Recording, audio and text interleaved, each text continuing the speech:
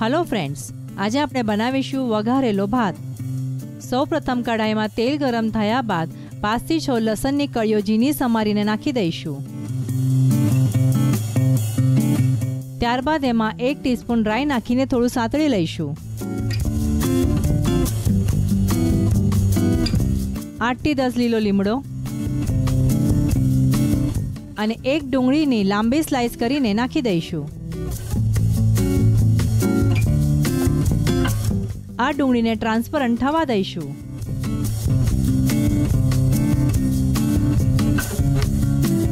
ડુંગળી ટ્રાન્સપરન્ટ થયા બાદ અડધી ટીસ્પૂન હળદર,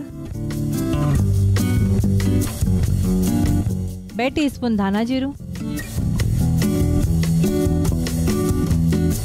બે ટીસ્પૂન લાલ મરચું નાખીને મસાલાને મિક્સ કરી લઈશું.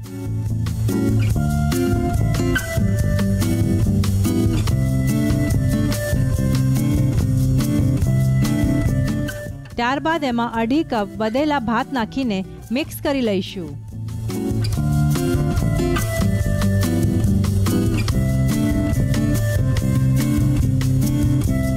ભાતને મસાલામાં સારી રીતે મિક્સ કરી લઈશું. ત્યારબાદ સ્વાદ પ્રમાણે મીઠું નાખીને ફરીથી એકવાર હલાવી લઈશું.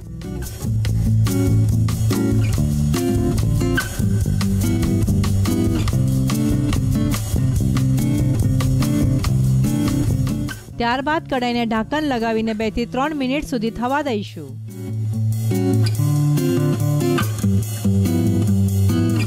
પછીથી એમાં મુઠ્ઠીભર લીલા ધાણા નાખીને ફરીથી એકવાર હલાવી લઈશું.